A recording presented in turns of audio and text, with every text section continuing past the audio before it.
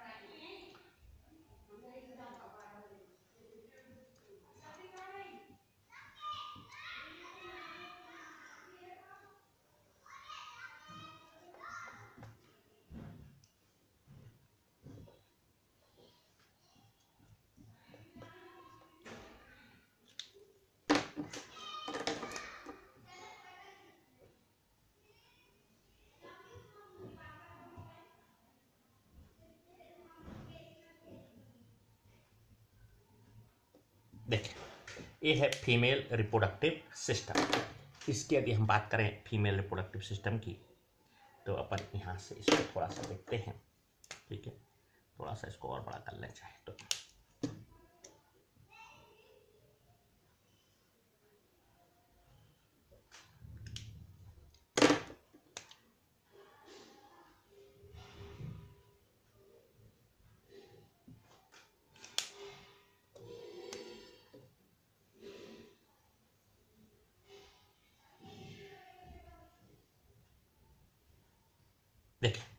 ये है female reproductive system यदि फीमेल रिप्रोडक्टिव सिस्टम की बात करें तो क्या क्या होता है इसमें? सबसे पहले अगर बात करें तो फीमेल रिप्रोडक्टिव सिस्टम में सबसे पहली होती है ओवरी सबसे यदि महत्वपूर्ण कोई चीज़ है तो वो है ओवरी क्या होती है? इसमें दो ओवरी पाई जाती हैं। कितनी ओवरी पाई जाती हैं? दो ओवरी पाई जाती हैं। एक लेफ़्ट ओवरी एक राइट ओवरी ओवरी के अंदर जो है वो ओबम का फॉर्मेशन होता है। ओवरी के अंदर क्या होता है? ओबम का निर्माण होता है। ओवरी के अंदर ओबम बनते हैं और ये ओबम जो है, वो रिलीज़ होते हैं। ओबम जो है, ओवरी के अंदर बनते हैं। और ओवरी के अंदर बनने के बाद ओबम जो है, यहाँ इस तरह से रिलीज़ होगा, ये होगा ओबम रिलीज़ ओबम रिलीज़ होने के बाद ये ओबम जो है, ये पहुँचता है कहाँ पर? इसमें। ये जो है, इसको बोलते हैं, पूरे को बोलते हैं ओबिडक्ट या फेलोपियन ट्यूब भी हम कह सकते हैं। ये ओबिडक्ट है या फेलोपियन ट्यूब है। तो ये ओबम यहाँ आता है और ये जो है, यदि हम बात करें इस ओबिडक्ट या फेलोपियन ट्यूब की, यहाँ ओबम आया, ये ओबम थोड़ा पीछे की ओर बढ़ता है, यहाँ पे पीछे की ओर बढ़ता है, यहाँ पर आता है, यहाँ पर आता है, ठीक है, फेलोपियन ट्यूब में आ जाता है। ओबम जो है, यहाँ से गया, ये ओबिडक्ट है, क्या है, ओबिडक्ट है, अभी अपन ओबिडक्ट की स्ट्रक्चर अलग से देखते हैं, ये ओबिडक्ट है, यहाँ से गई और यहाँ पर आकर के ये है ओबम। अब यदि हम बात करें तो यहाँ पर ओबम आ गया ओवरी से ओवम रिलीज़ हुआ। देखो, मैं आपको बताऊँ, यदि फीमेल की हम ओवरी की बात करें तो फीमेल में दो जोड़ी ओवरी पाई जाती, एक जोड़ी ओवरी पाई जाती है, यानी दो ओवरी पाई जाती है। एक लेफ़्ट होती है और एक राइट ओवरी होती है। ओवरी से ओबम रिलीज़ होता है, इस क्रिया को बोलते हैं ओव्यूलेशन। आपको पता होना चाहिए ओव्यूलेशन जो होता है, वो एमसी के चौदहवें दिन होता है। जो एमसी होती है, यानी मेंस्ट्रुअल साइकिल जो होती है, उसके चौदहवें दिन, कौन से? फोर्टींथ डे पर होता है ओव्यूलेशन तो ओव्यूलेशन जो है, वो फोर्टींथ डे पर होता है। ये ओव्यूलेशन हुआ। ओव्यूलेशन होने के बाद जो ओबम निकला, वो कहाँ चला जाता है? इस ट्यूब में फेलोपियन ट्यूब में। यहाँ से यहाँ आता है, यहाँ पर आया फेलोपियन ट्यूब में। ठीक है? अब मैं आपको यहाँ पर बताता हूँ तो नंबर एक। यदि कोई कहे कि फीमेल में तो ह्यूमन फीमेल में दो ओवरी पाई जाती हैं। क्या पाई जाती हैं? दो ओवरी पाई जाती हैं। दोनों ओवरी से क्या होते हैं? अगर अपन एक और आपको बात बता दें ओवरी से जो होता है, ओबम रिलीज़ होता है। ओवरी के अंदर ओबम बनता है, ओबम बनने के बाद वो रिलीज़ होता है और इस क्रिया को बोलते हैं ओब्यूलेशन। अगर कोई कहे कि ओबम का फॉर्मेशन कहाँ होता है तो ओवरी के अंदर। ओवरी से क्या होता है? ओबम निकला और ये कहाँ आ गया? यहाँ पर आया। यहाँ पर आने के बाद जो है, ये यहाँ आ रहा है, ठीक है? ये फेलोपियन ट्यूब में आ रहा है। अब मैं आपको एक बात बता दूँ, ये फेलोपियन ट्यूब जो है, इसको कहा जाता है फेलोपियन ट्यूब या ओबीडक्ट क्या कहा जाता है? ओबीडक्ट अब मैं आपको यहाँ पर एक और बात बता दूँ, ये वाला जो भाग है, इसको बोलते हैं ओबरी हो गई, इसको बोलते हैं ओबीडक्ट क्या कहा जाता है? ओबीडक्ट इसको कहते हैं हम ओबीडक्ट या फेलोपियन ट्यूब। ये ओबीडक्ट है। ये जो है, इसको कहते हैं बेजाइना। क्या कहते हैं? बेजाइना। इसको कहते हैं सर्विक्स क्या कहा जाता है? सर्विक्स कहते हैं। ये जो दिख रहा है, ये है यूटेरस क्या है? यूटेरस ये बेजाइना है, ये सर्विक्स है। और ये जो है, इसको कहा जाता है एक्सटर्नल जेनिटेलिया हम कह सकते हैं इसको। एक्सटर्नल जेनिटेलिया या वेस्टिब्यूल एक्सटर्नल जेनिटेलिया क्या कहते हैं? एक्सटर्नल जेनिटेलिया ठीक है? ये जो है, इसको बोलते हैं क्लाइटोरिस क्या कहा जाता है? क्लाइटोरिस कहते हैं, ठीक है? ये क्लाइटोरिस है। ये जो है बेजाइना है। बेजाइना के ऊपर सामान्य अवस्था में एक मेम्ब्रेन पाई जाती है और इस मेम्ब्रेन को बोलते हैं हाइमन मेम्ब्रेन। ये जो मेम्ब्रेन दिख रही है, इस मेम्ब्रेन को कहा जाता है हाइमन मेम्ब्रेन, ठीक है? अब हम बात करते हैं। तो पहली बात ओबरी से क्या हुए? ओवम रिलीज़ हुए। ओवम कहाँ आ गए? ओबीडक्ट में, या इसी को हम कह सकते हैं फेलोपियन ट्यूब। क्या कह सकते हैं? फेलोपियन ट्यूब, ठीक है? फेलोपियन ट्यूब में आए। अब आपको पता है, कॉपुलेशन के दौरान स्पर्म यहाँ छोड़े जाते हैं। कहाँ छोड़े जाते हैं? स्पर्म। यदि मान लो फीमेल में कॉपुलेशन किया और कॉपुलेशन के दौरान मैथुन क्रिया के दौरान स्पर्म कहाँ छोड़े जाते हैं? बेजाइना में। ये स्पर्म यहाँ से मूव करते हुए सर्विक्स यहाँ से मूव करते हुए, यहाँ से मूव करते हुए, यहाँ से मूव करते हुए यहाँ पहुँच जाते हैं। और यहीं पर होता है फर्टिलाइजेशन कहाँ पर होता है? स्पर्म और ओवम का मिलना क्या कहलाता है? फर्टिलाइजेशन कहलाता है। तो स्पर्म और ओवम का मिलना कहाँ होता है? फेलोपियन ट्यूब में। यहाँ पर फ्यूजन होता है और यहाँ पर फर्टिलाइजेशन होता है। तो क्वेश्चन पीएमटी या दूसरी अदर एग्ज़ाम्स में या जो भी कॉम्पिटेटिव एग्ज़ाम है बायोलॉजी से संबंधित, उसमें एक क्वेश्चन पूछा जाता है। पहला क्वेश्चन तो पूछा जाता है कि ओब्यूलेशन कौन से दिन होता है? यानी स्पर्म और ओबरी से ओबम कौन से दिन निकलता है? तो आंसर आएगा चौदहवें दिन। चौदहवें दिन मतलब एमसी के फोर्टींथ डे में निकलता है। जो एम सी अट्ठाईस दिन की होती है, उसमें चौदहवें दिन का जो चौदहवा दिन जो फोर्टींथ डे होता है, उस समय ओब्यूलेशन होता है अंडोत्सर्ग होता है, यानी ओबरी से ओबम बाहर निकलता है। जैसे ओबम बाहर निकलता है, उसको कौन कौन ग्रहण कर लेता है? कौन ले लेता है? ये अपनी ओबिडुकल ये फनल या ओबिडक्ट अब मैं आपको ओबिडक्ट की भी स्ट्रक्चर तो पहला क्वेश्चन कि ओबरी ओबम का फॉर्मेशन कहाँ होता है? सबको पता है अंडाशय में ओबरी में। दूसरा क्वेश्चन ओबम का रिलीज़ या ओबम का बाहर निकलना क्या कहलाता है? ओब्यूलेशन ओबरी में ओबम बनता ज़रूर है और उसके बाद वो फिक जाता है, बाहर फेंक दिया जाता है ओबरी से। उसको बोलते हैं रिलीज़ ऑफ़ ओबम या अपन कह सकते हैं, जो ओबम का डिस्चार्ज होता है वो कहलाता है ओब्यूलेशन तो ओबम बाहर आ गया। फिर क्या होता है? तीसरा जो होता है यहाँ पर ओवम है ठीक है? फिर यहाँ से स्पम जाते हैं, बेजाइना में स्पम छोड़े जाते हैं मेल के द्वारा। मेल के द्वारा जो कॉपुलेशन के दौरान स्पम छोड़े जाते हैं, वो यहाँ से होते हुए कहाँ पहुँचते हैं? यहाँ पर फेलोपियन ट्यूब में। तो फेलोपियन ट्यूब में क्या होता है? फर्टिलाइजेशन तो तीन क्वेश्चन ओबम का फॉर्मेशन कहाँ है? ओबरी में। दूसरा क्वेश्चन ओबम का जो ओब्यूलेशन होता है ओबम रिलीज़ होता है, उसको क्या कहते हैं? ओब्यूलेशन ये भी क्वेश्चन पूछा जाता है कि ओबरी से ओबम का निकलना release of ovum from ovary is called तो ओब्यूलेशन कहते हैं। ओबम से ओवरी से ओबम का निकलना। तीसरा क्वेश्चन ये पूछा जाता है कि ओब्यूलेशन कौन से दिन होता है? तो एमसी के चौदहवें दिन होता है, ठीक है? फिर आता है ये ओबम जो रिलीज़ हुआ, उसको कौन लेता है? फेलोपियन ट्यूब फेलोपियन ट्यूब से या अपन कहें ओबिडक्ट ओबिडक्ट से ओबम कहाँ आया? यहाँ पर। यहाँ पर स्पर्म है। चौथा क्वेश्चन पूछा जाता है कि फर्टिलाइजेशन कहाँ होता है? तो फर्टिलाइजेशन होता है फेलोपियन ट्यूब में। अब फेलोपियन ट्यूब में फर्टिलाइजेशन हो गया। फर्टिलाइजेशन के बाद यहाँ पर क्या बन जाता है? जाइगोड बनता है। क्या बन गया ये? जाइगोड बन गया। ठीक है? अपन इसको, ये जाइगोड बन जाता है। ठीक है? अब जाइगोड जो है, वो यहाँ से चलता है। यहाँ से चलता है। और यहाँ से चल करके वो यहाँ किसकी? यूटेरस की बॉल से चिपक जाता है। ये यूटेरस की बॉल है। यूटेरस की बॉल से ऐसा जाइगोट चिपक जाता है। या अपन इसको दूसरे कलर से ले लेते हैं। ठीक है? अपन इसको। ये जो है, ये बन गया जाइगोट। क्या बन गया? ये बन गया जाइगोट। ठीक है? जाइगोट आया और वो कहाँ चिपक गया? या यूटेरस की बॉल से चिपक जाता है। जाइगोट का यूटेरस की बॉल से चिपकना कहलाता है इम्प्लांटेशन।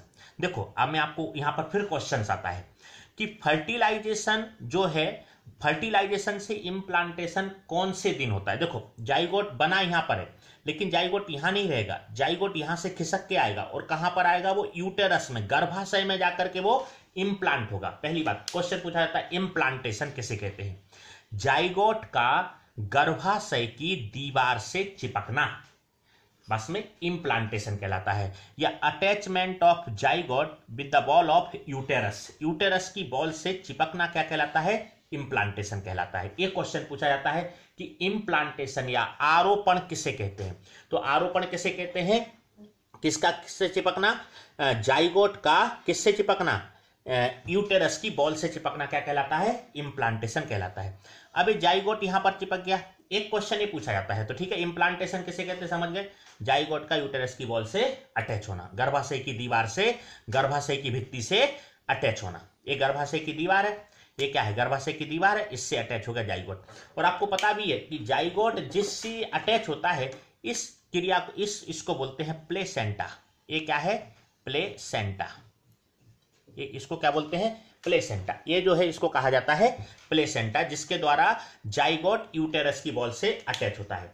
नेक्स्ट क्वेश्चन पूछा जाता है कि यूटेरस जो यहाँ पर, ये फर्टिलाइजेशन और इम्प्लांटेशन के बीच कितना समय लगता है? देखो यहाँ पर फर्टिलाइजेशन मान लो यदि एक तारीख को हुआ है तो इम्प्लांटेशन मान लो एक जनवरी को हुआ है, ठीक है? तो इम्प्लांटेशन हमेशा सात जनवरी को होगा। मतलब आप ध्यान रखना, यहाँ से यहाँ तक आने में फर्टिलाइजेशन और इम्प्लांटेशन के बीच का जो समय होता है, वो लगभग सात दिन लग जाते हैं, छह से सात दिन लगते हैं।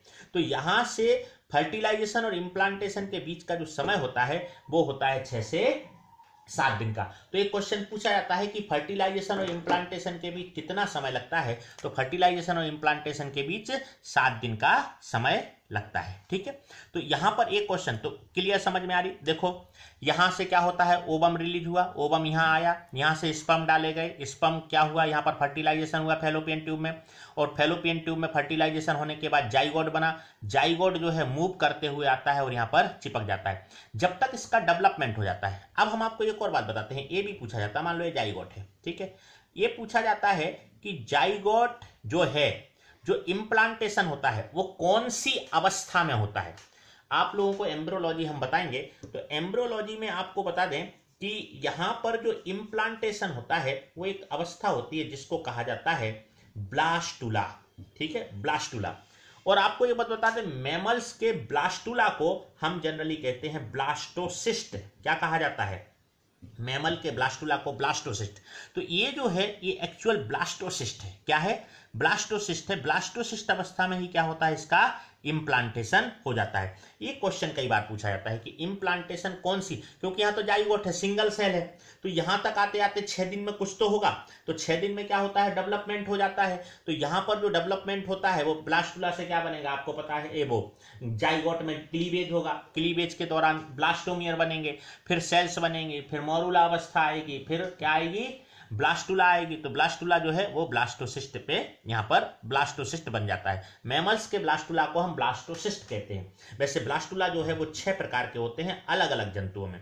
लेकिन मैमल्स का जो ब्लास्टुला होता है, जो मनुष्य का ब्लास्टुला होता है, उसको क्या कहा जाता है? ब्लास्टोसिस्ट। तो यहाँ पर ये अटैच हो जाता है, ठीक है? अब मैं आपको कुछ और बातें बताता हूँ। तो यहाँ पर एक क्वेश्चन पूछा जाता है तो चार, पाँच, छह क्वेश्चन हाँ। ओवरी का भी ऐसा नियम है कि ओवरी में ओबम रिलीज़ हो रहे हैं। ओवरी के अंदर क्या बनते हैं? ओबम बनते हैं। ओबम बनने के बाद रिलीज़ हो जाते हैं। उस क्रिया को हम बोलते हैं, उस प्रोसेस को बोलते हैं ओब्यूलेशन अब जब ओवरी से ओबम रिलीज़ होते हैं, ध्यान रखना ये नियम है। ये ओवरी से ओबम जो है ना, वो अल्टरनेटली रिलीज़ होते हैं। एक बार लेफ़्ट ओवरी से रिलीज़ होता है तो एक बार राइट ओवरी से रिलीज़ होता है। देखो, ध्यान रखना मैं आपको फिर बात बता देता हूँ। मैमल्स में या मनुष्य में एक महीने में एक ही ओबम रिलीज़ होता है। मनुष्य में एक महीने में एक ही ओबम रिलीज़ होता है। एक बार लेफ़्ट ओवरी एक बार राइट ओवरी फिर लेफ़्ट, फिर राइट। फिर लेफ़्ट, फिर राइट। यानी जनवरी में लेफ़्ट तो फरवरी में राइट। तो मार्च में लेफ़्ट तो अप्रैल में राइट। तो ऐसा अल्टरनेटली रिलीज़ होते हैं। एक महीने में एक ओवरी से तो अगले महीने में दूसरी ओवरी से। ये ओबम रिलीज़ का ऐसा काम है, ठीक है? तो यहाँ तक बात समझ आ रही? अब हम आपको इसकी बात भी बता देते हैं, क्या होता है। देखो जनरली हम ओबीडक्ट की बात बताएँ तो ओबीडक्ट को अपन इस तरह से बनाते हैं। ओबीडक्ट एक्चुअल में ऐसी होती है। ये आगे का भाग इसका चौड़ा होता है। ओबीडक्ट की अगर हम बताएँ फेलोपियन ट्यूब की तो इसका अगला भाग जो होता है चौड़ा होता है। और इस पर ऐसे कुछ फिंगर लाइक प्रोजेक्शन पाए जाते हैं। और इनको कहा जाता है फिम्बरी। क्या कहा जाता है? फिम्बरी। किसे कहा जाता है? जो ये दिख रहे हैं ना, ये है फिम्बरी। ये क्या है बेटा? फिम्ब्री। बस में। अब आपको मैं बताऊँ फिम्बरी क्यों? ये फिंगर लाइक प्रोजेक्शन है, ऐसे फिंगर लाइक अब देखो, ओबरी से ओबम फेंका। जैसे मान लो यदि अपन से कहे कि कोई गेंद अपन को फेंके अपन को कैच करना हो गेंद को तो क्या करें अपन? गेंद को कैच करने के लिए क्या चाहिए? फिंगर चाहिए। आप फिंगर को हटा दीजिए, फिर गेंद को कैच करिए, कर ही नहीं पाएँगे। बात समझ आ रही कि नहीं आ रही तो यदि आपको गेंद को कैच करना है तो फिंगर चाहिए। तो ये जो होती ना इनमें, किसमें? ओबीड्यूकल फनल में। जो ओबीडक्ट है ओबीडक्ट का अगला भाग जो है, इसको बोलते हैं ओबीड्यूकल फनल क्या कहा जाता है? ओबीड्यूकल फनल क्या कहते हैं इसको? ओबीड्यूकल फनल और इसका जो अगला भाग होता है ओबीडक्ट का, वो चौड़ा होता है। और उसका काम होता है किसको कैच करना? किसको कैच करना? जैसे ही ओबरी से ओवम रिलीज़ हुए, उसको कैच कर लेना, पकड़ लेना। तो ये, इसमें क्या होते हैं फिंगर लाइक प्रोजेक्शन पाए जाते हैं। तो जैसे ही ओबम रिलीज़ हुआ और उसने उसको कैच करा कैच करके यहाँ पर वो ले लेता है। अब हम आपको और बता देते हैं। इसको हमने कहा ओबीडक्ट या फेलोपियन ट्यूब क्या होता है, महिलाओं की जो नसबंदी होती है, उसको हम बोलते हैं ट्यूबैक्टॉमी ये तो फेलोपियन ट्यूब का अगला भाग समझ में आ रही। इसको क्या बोलते हैं ओबिड्यूकल फनल और इसके ऊपर क्या होती है, उंगली नुमा प्रभर्द पाए जाते हैं, इसको बोलते हैं फिम्बरी। फिम्बरी का काम होता है ओबम को कैच करना। अब हम आपको यहाँ पर एक बात बताएँ। कई बार क्या होता है, अपन कहते हैं महिलाओं की नसबंदी।